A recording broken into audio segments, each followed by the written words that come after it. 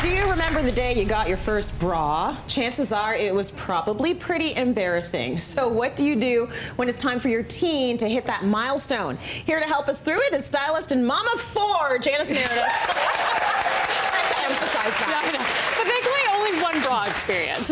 So Yeah. tell me about yours or Keely's, your your eldest daughter. Uh, do you So, remember? Yeah. So for me, I was desperate for a bra because socially everyone else had one and I was still totally behind without a need for years for a bra and I was just wanting one so bad. Right. And then even when I went out there was no selection. There was these ones that came in a box and they were like $4.99 and it was the nastiest nylon with some puckering which you had to fill out and of course I didn't have anything to fill out, Right. right? but socially in gym class I wanted to have something like it was embarrassing. Yeah. Whereas my daughter is so funny because as soon as she was like, yeah, in grade seven, I'm like, I should probably have something. Again, she didn't have too much, but she needed some coverage. And again, it was the gym class.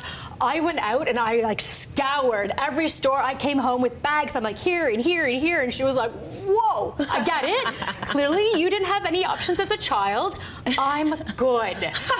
but then she had a friend who was tiny but had quite a substantial, all of a sudden, uh, size cup. And so, Yeah. but she didn't want to talk about it at all. So she would come to our house, she would go through Keely's drawer, she'd pull out what she'd like. Yeah. I would message her mom, her mom would buy them and put them in the drawer. And that's how this girl wanted it. Oh my gosh, that's She awesome. wanted nothing to be talked about. She was so, so it's such a personal, intimate experience. Yes. And you just have to know your child. You really do. So Yes. it can be really embarrassing. I love that Keely's like, calm down. Yes, no, no. She's You're- here, I'm gonna need you here, mom. I only she need one. applies that to so many different things It's where she's like, I get it. In your childhood, you didn't have this. I'm good. Like she's so low key, and I'm like, okay, okay, okay.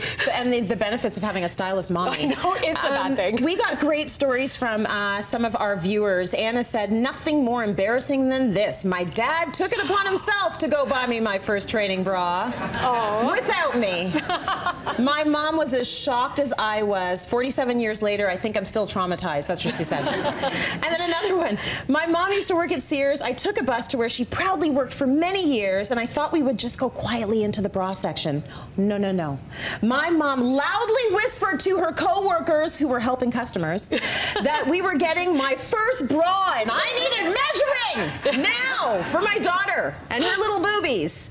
So, like, it, it's one of those situations you always you always remember. I, my first training bra was actually a hand-me-down, which was maybe which maybe is sort of um, symptomatic of the era. Yes. Like we lived in a small community, and I think my mother knew that I wasn't going to be needing a bra for a training bra for very long. So it was like my neighbor. Like she brought over a selection, I picked one, and that was that. I wasn't even embarrassed about it. No. Now you have brought some of the cutest options. know. I, wish these options existed. Well, that is part of the problem, right? Like, and you know, the parents now, there was no options. So Yeah. now, just a heads up, there's so much out there. Yeah. And there's so much that you can actually start sooner. Because I think that the girls, you know, this day and age, there's a, as soon as there's a little bit of something, they want, want coverage.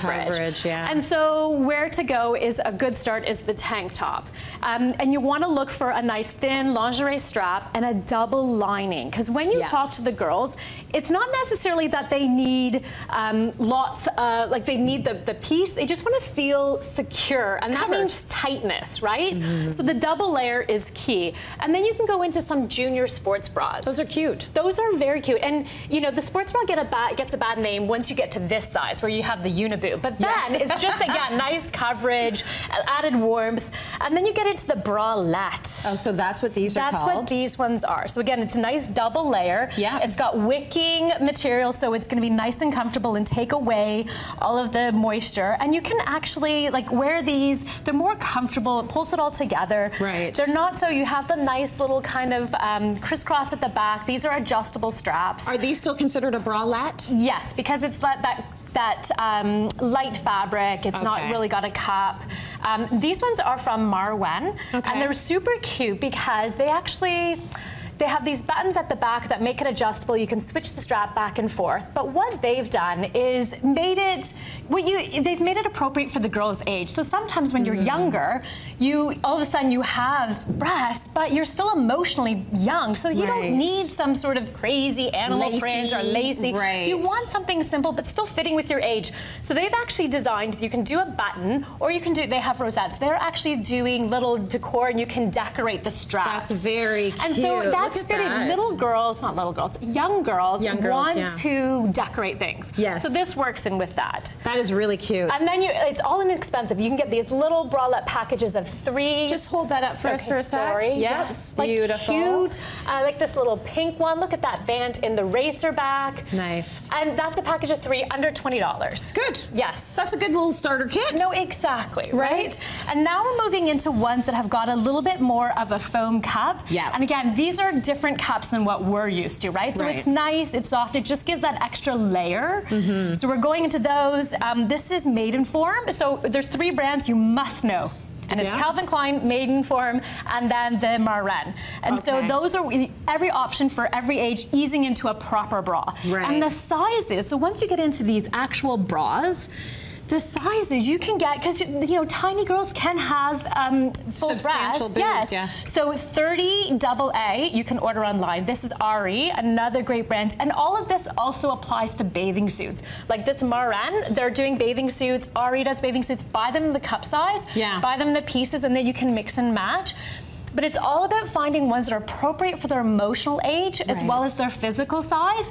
Tons of options. Yes. And you can get it done. To get away from the embarrassment factor, Yes. if that is a situation with your uh, with your daughter, would you suggest maybe perusing online, and that like Yes. maybe they don't want to come with you into the store, Yeah. so then you can show all the options online. Yeah. They can pick, you know, whether they're a bralette or an undershirt or a sports bra, Yeah. and then you can go get them. I think this day and age, like this generation, is so much more informed of the Tell options than we. it. Like we grew, I grew up in a small town, and it was Zellers. That was our only Yes, store. yeah. And so that those our entire high school went to Zellers to buy their first bra. Yes, we went thing. to Bi-Way. Yes, exactly. Yeah, so it was like So- little bloomies underwear, little bloomies bras. Yeah, There's like no support whatsoever. No, well, you didn't need support initially. need support. Yes. They were just cute. Yeah. Um, so I think they're so much more aware of the options and the variety and the online shopping. So I think this generation is coming to us saying, I need it, whether they need it physically or whether they need it emotionally. Yeah. This is they're going to probably lead the bus on that way. You're probably right. And Aerie is great because they also have that um, an amazing campaign because it's not touched up. It's every size, uh, and these ones are their sports bras, which again, if you're young but bigger, you can Yeah. get away. And because it's got the V, it's not so sports bra. That's right. It's So very it's cute. appropriate. Thank you for the lesson, Shannon. Absolutely.